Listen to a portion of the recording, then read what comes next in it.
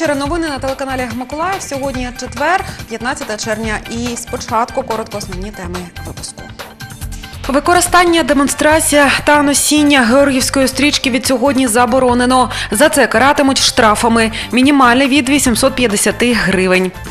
Навколо спортивної бази Спартак киплять справжні пристрасті. Активісти та батьки скаржаться на директора. Будинок для Зінаїди. Волонтери та небайдужі містяни зводять нове житло для багатодітної родини. Особливе видання для особливих діток у Миколаєві презентували книжку казок Білосніжка. І розпочинаємо з подій на сході країни. Оперативна обстановка в районі проведення антитерористичної операції залишається складною. Обстріли українських позицій бойовиками російсько-терористичних банд формувань не припиняються ні вдень, ні вночі. Минулої доби незаконні збройні формування 55 разів відкривали вогонь по опорних пунктах збройних сил України вздовж усієї лінії фронту. Сім з цих фактів характеризуються застосуванням противником заборонених мінськими угодами артилерійських систем. З важкого озброєння бойовики знову здійснили підступні обстріли одного з прифронтових населених пунктів. Підгодовані Кремлем бойовики на сході України не припиняють підступно застосовувати зброю ні вдень, ні вночі. Обстрілюють окупанти не лише укріплення українських захисників, але й невинних мешканців прифронтових населених пунктів. Минулої доби внаслідок ворожих обстрілів троє бійців сил антитерористичної операції зазнали поранень. Їхньому життю нічого не загрожує. Стан поранених задовільний. Втім, вчора, на жаль, не обійшлось без жертв. Цього разу від рук російських окупантів загинув цивільний мешканець населеного пункту Суха Балка.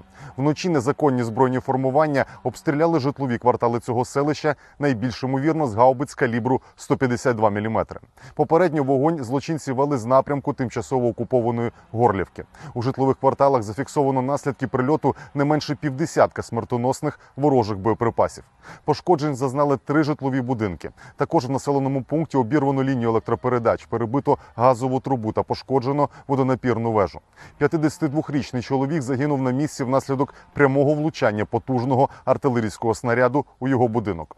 Висловлюємо щирі співчуття рідним та близьким полеглого. І від сьогодні каратимуть за публічне використання, демонстрацію чи носіння георгіївської стрічки мінімальний штраф від 850 гривень. За повторне порушення також передбачається штраф до 300 неоподаткованих мінімумів. Це 5100 гривень або адміністративний арешт на строк до 15 діб.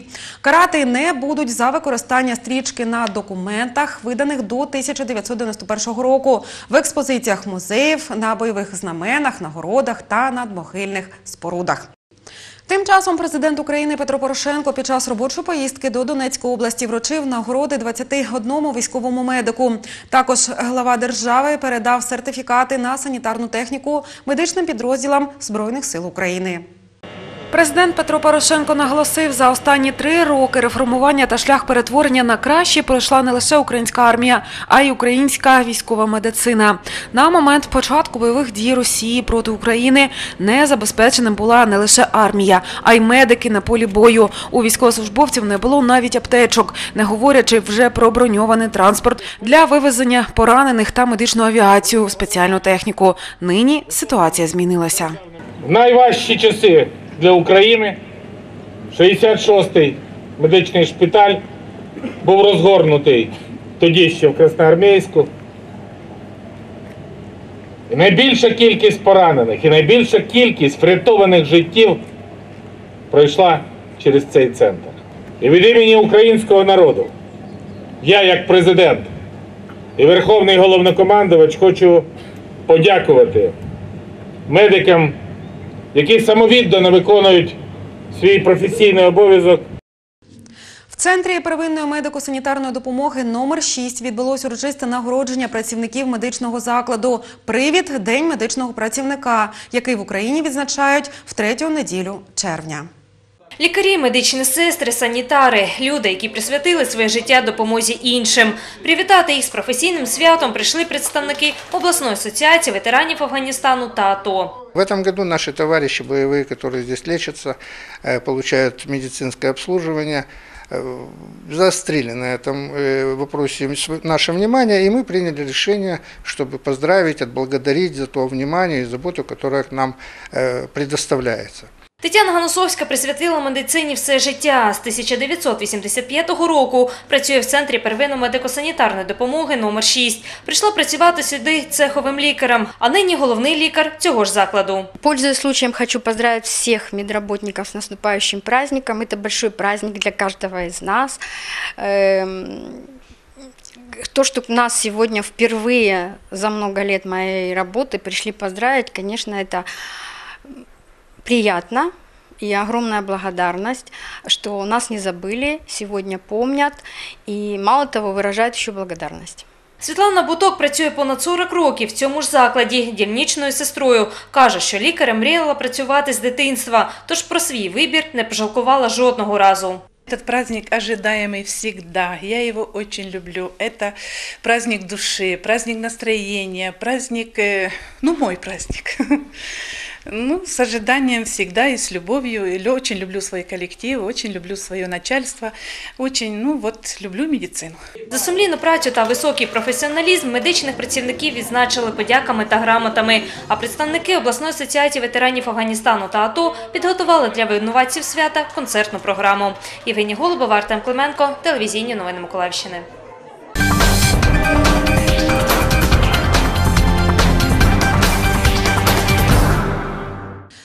Миколаївській обласній державній адміністрації відбулися обговорення з перчинкою стосовно спортивної бази Спартак. Громадські активісти та батьки вихованців спортивної школи поскаржились представникам влади на директора означеного закладу Володимира Титоренка. Подробиці далі у відеоматеріалі. Пристрасті та скандали навколо сумнозвісної спортивної бази Спартак не вщухають вже багато років. Окрім спроб продажу землі, незаконної її здачі в оренду та інших намагань підзаробити, тепер під приціл потрапили діти, які займаються великим тенісом, а зокрема діти-візочники. Проблема на данный момент сейчас идет э, по Спартаку, то, что не разрешают заниматься э, инвалидам на, на, как вам сказать, на державных кортах. У меня сейчас занимается 4 колясочника, из них э, два, два, двое больных ДЦП, э, один бывший атошник и один э, беженец занимается. На тенісних кортах може пограти будь-хто, але за гроші. Наразі перевага надається комерційним користувачам кортів, а дітлахи, які займаються в спортивній школі, вимушені лише спостерігати за грою. Мы пришли с целью, мы, нас э, около 50 общественных организаций. На- В последние э, буквально дни обратились как э, главе областного совета, так и главе облдержадминистрации. Мы требуем создания комиссии по проверке работы НОК КДСШ, которую сейчас, как говорится, «Спартак» на балансе. За вимогами активістів до складу комісії мають увійти як самі активісти, так і представники обласної ради й адміністрації, на що влада вже відреагувала, розробивши попередній перелік питань, які необхідно обговорити. Вдосконалення розкладу роботи з дітьми на тенісних кортах, е, забезпечення тренувань в першу чергу саме дітей, що займаються МОК ДЮСШ. Надання дозволу на проведення тренувань дітьми та дорослими з платними послугами лише при наявності вільних кортів у час, коли діти МОК ДЮСШ не проводять тренування. Окрім необхідності збільшення тренерського штату, серед нагальних питань і процес передачі спортивної бази Спартак до обласної комунальної власності, який триває вже півроку. Тож у молодих тенісистів є надія, що вони таки зможуть безперешкодно займатися улюбленим видом спорту. Олександр Гордієнко, Юлія Кускова, телевізійні новини Миколаївщини. Нове помешкання для нового життя в мікрорайоні Тернівка, волонтери та просто небайдужі люди зводять будинок для сім'ї Охрименко. Останнім часом родині доводилося важко. Вони пережили пожежу, а мати тяжку операцію. Про багатодітну родину і небайдужих миколаївців розкажуть наші журналісти. Зінаїді Ухрименко 36 років. Жінка-самотужка виховує чотирьох дітей. Двоє з них мають інвалідність. До цього часу родина мешкала в старому будинку. В таких умовах доглядати дітей було просто неможливо. Старый дом, без фундамента. Э, И ну, к- ну, просто рушился все время. Плюс пожар, который добавил св- своих каких-то э, минусы. Понемножечку как бы стены подмывались, и плюс крыша проседала. Ну, то есть сама я с этим ничего сделать не могла. Ну, что-то старалась, но что я могу сделать сама? Ну, Наразі будівельні роботи тільки розпочались. Зараз закладають фундамент. Волонтер Віталій розповідає, займається доброчинністю з 2013 року. Втім, у його практиці це перший випадок, коли будинок будують з нуля. До этого были в основном ремонты квартир, там такое. То есть, то есть это один из первых глобальных таких, поэтому мы хотим объединить всех. То есть как бы это горе э, там, да, определенной семьи, мы должны как бы э, принять его все вместе, и все вместе, если мы это все сделаем, ну, я думаю, что наша страна это одна большая семья, Поки що волонтери самотужки шукають кошти та робітників. Кажуть, будуть вдячні за будь-яку допомогу. Можно финансово или стройматериалами. Можно просто 50 гривен перечислить, это уже мешок цемента, это уже реальная помощь. До початку зими волонтери планують завершити основний етап будівництва. По тому мають залишитись тільки оздоблювальні роботи. Наталя Забазнова, Андрій Заворотній, телевізійні новини Миколаївщини. І майже завершено навчальний рік. Освітяни Миколаївщини зібралися обговорити окремі моменти своєї роботи. Цього разу на засідання колегії департаменту освіти і науки обласної державної адміністрації було винесено питання, що стосувалось роботи певних навчальних закладів. Децентралізація внесла певні корективи в роботу освітянської галузі. І стосується це не тільки створення опорних шкіл, змінюється і підхід в управлінській сфері. Перш за все, це створення нового освітнього простору. Один з проєктів. Нова українська школа е, важливий проєкт, який формує майбутній зміст е, сучасної української освіти. Е, Сьогодні створюються оборні та навчальні заклади і в рамках об'єднаних територіальних громад, і в рамках районів. Зміни, зокрема, торкнуться професійно-технічних навчальних закладів. На них чекає укрупнення, але з врахуванням територіальних умов та потреб ринку праці. У нас є план укрупнення професійно-технічних навчальних закладів. Лілія Михайловна Гриневич місяць тому наголосила на е, такій позиції, що до 2020 року нормальна чисельність ПТНЗ мінімальна повинна бути 500 осіб, 500 учнів. Ми сьогодні навіть в місті Миколаєва маємо, в місті Миколаєва маємо професійно-технічні навчальні заклади, де чисельність 150. Одним з питань порядку денного було і патріотичне виховання. Така увага викликана не тільки подіями на сході країни. Освітяни планують змінити підхід до національно-патріотичного виховання студентів.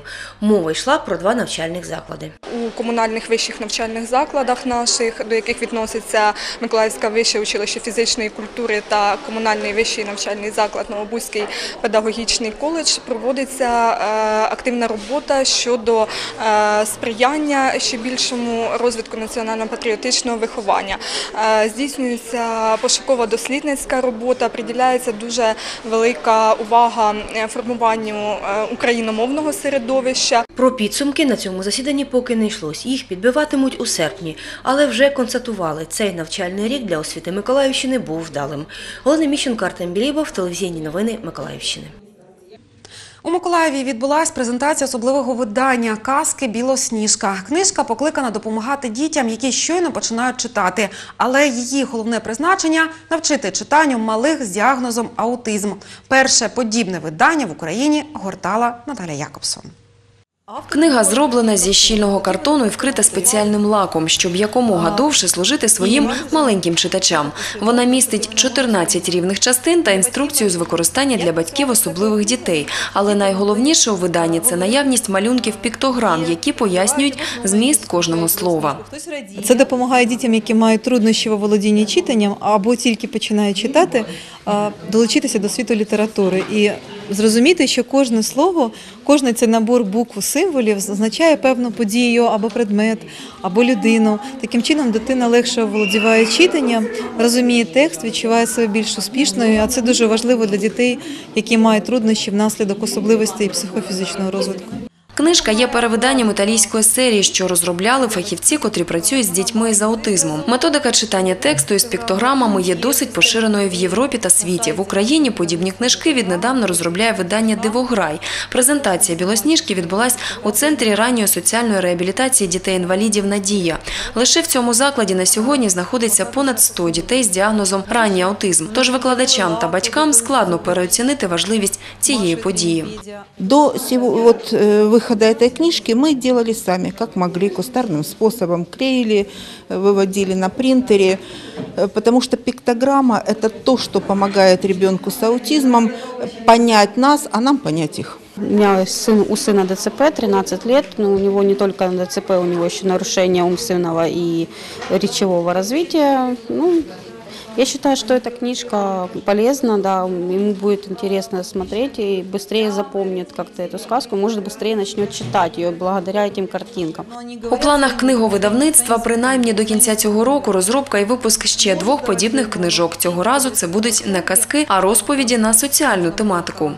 Це будуть історії про реальне життя дитини з нашими реаліями, з ілюстраціями нашого світу, наших, наших особливостей, нашого зоопарку, нашу історію про хлопчика, який йде до лікаря, а також казки продовжити серію, італійську серію з піктограмами казок. На завершення презентації один примірник білосніжки подарували центру реабілітації. На сьогодні книжку можна замовити через інтернет, але найближчим часом вона з'явиться у книгарнях міста. Наталія Якобсон, Юрій Руденко, телевізійні новини Миколаївщини. У дитячому таборі дельфіни рятувальники Миколаївщини спільно з представниками Федерації підводної діяльності та спорту, волонтерами Червоного Хреста і командою юних рятувальників школи номер 60 організували акцію Безпечне літо. Вони розказали дітлахам, що потрібно робити, аби відпочинку нічого не загрожувало. Волонтери Червоного Христа навчили дельфінівців правилам надання першої допомоги постраждалому, продемонстрували, як правильно здійснювати штучне дихання та дали змогу усім охочим самостійно зробити непрямий масаж серця на манекені дорослої людини та дитини. Також рятувальники і акватлоністи детально зупинилися на професійних засобах порятунку людей на водних об'єктах. В основном его действительно кидают. Кидают его в сторону потерпевшего. Потерпевший его одевает. И спасатель его буксирует к берегу. Не залишилось без уваги і питання профілактики виникнення пожеж та надзвичайних ситуацій. Рятувальники наочно продемонстрували, як гасити умовну пожежу.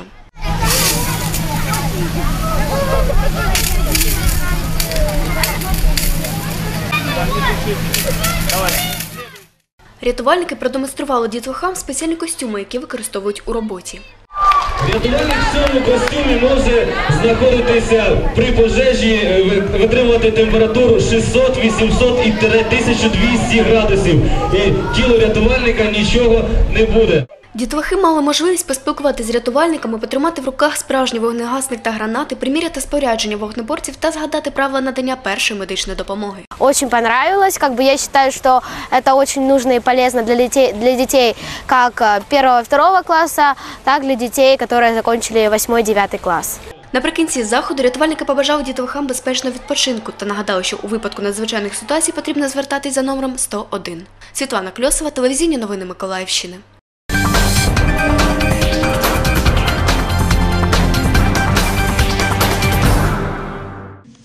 Півночі Польщі у Вармінсько-Мазурському воєводстві завершився восьмий міжнародний телерадіофестиваль Калинові мости. У ньому брали участь журналісти з 20 областей України. Вони представили 75 телевізійних і радіоробіт. Хто здобув звання лауреатів фестивалю і чи отримали нагороди програми Миколаївської філії? Дивіться у сюжеті.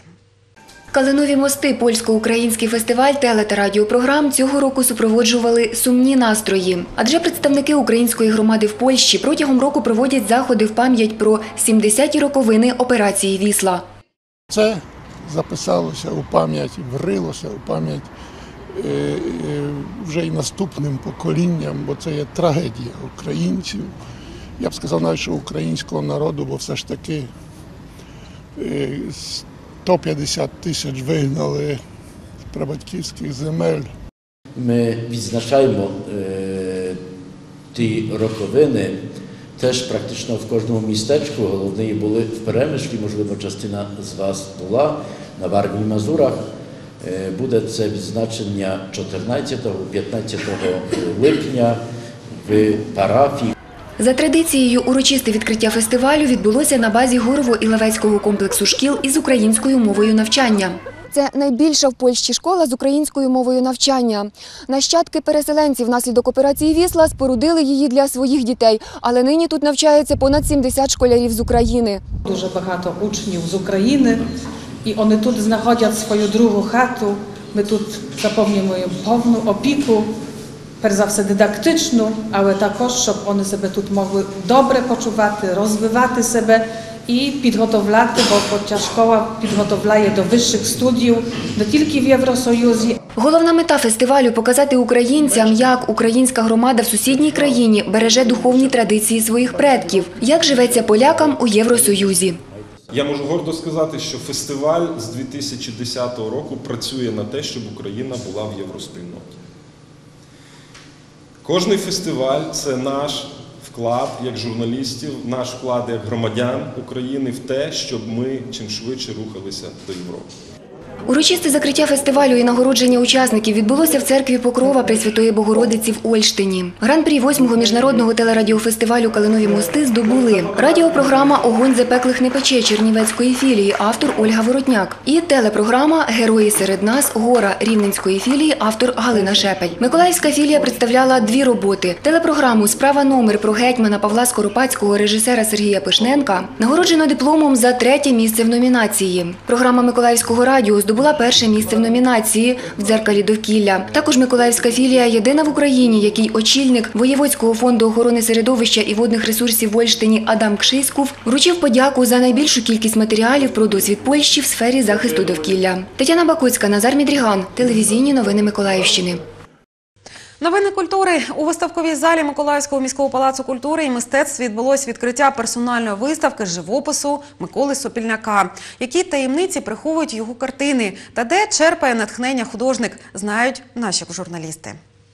Роботи миколаївського художника знаходяться в приватних колекціях України, Росії, Ізраїлю, Німеччини та Данії, а також в Очаківському музеї Суворова. Микола Сопільняк брав участь в п'яти обласних і республіканських виставках живопису, організував і 15 персональних. Сьогодні ж художник навмисно відібрав для виставки найрізноманітніші техніки за весь період своєї творчості, а це понад 30 років. Эта выставка не только для меня, для моей семьи и для этого зала, это еще выставка для моих студентов, которые, э, моих студентов и моих э, студийцев, которые здесь я еще веду эту студию. Художник зізнається, натхнення черпає в сім'ї, у студентів, а ще митця надихає природа. Особливу увагу приділив картині «Сонячний зайчик». Це остання робота художника, а її родзинка в тому, що на полотні зображена його онучка. Солнечный зайчик, тут такое д- двоякое. Возникло это просто, просто она спала в, в этой гамаке в саду. Поэтому все красивое, оно возникает мгновенно. Вот. И тут же оно м, перешло на холст, на рису- рисунок и живопись. А почему солнечный зайчик? Потому что там игра солнечного света, этих зайчиков, ну и сам ребенок это как, как зайчик, солнечный зайчик. То есть это, это счастье.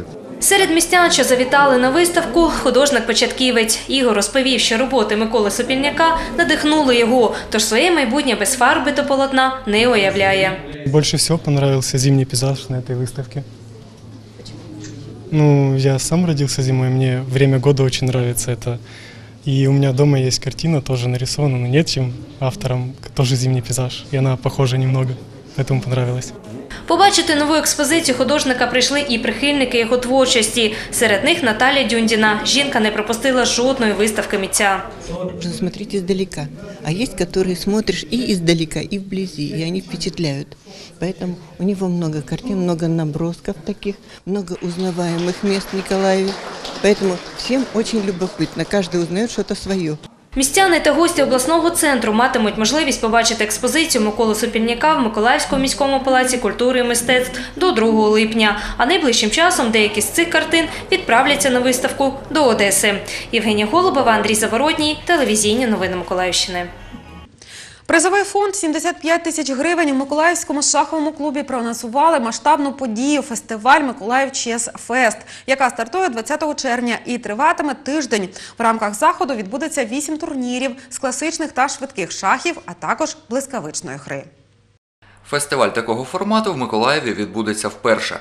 За звання кращого змагатимуться близько 200 спортсменів з 13 областей України. Николаев Чес Фест. Он объединяет традиционные наши турниры. Самый такой традиционный, уже 21 год подряд будет проходить э, Шахматные надежды Украины – это детский турнир среди детей в возрасте до 8, две подгруппы до 8 лет и до 12 лет. Также ингульские мосты – традиционный, всеми любимый и известный турнир в Украине. Серед учасників будуть як професійні спортсмени-гроцмейстери та майстри, так і початківці. Вік від 6 до 77 років. Та шахові турніри не єдине, що підготували для учасників організатори. В рамках этого фестиваля еще интересный турнир предусмотрен и будет проводиться. Это э, больше 20 раз мы проводим уже шахматные надежды Украины. Это турнир по футболу. И многие участники звонят по телефону, спрашивают, будет ли футбол в первую очередь. А шахматы как бы тоже интересно, но футбол будет или нет. З 20 до 27 червня шахісти змагатимуться за звання кращого в корпусі Національного університету кораблебудування імені адмірала Макарова, що знаходиться на зупинці стадіон. Олександр Гордієнко, телевізійні новини Миколаївщини.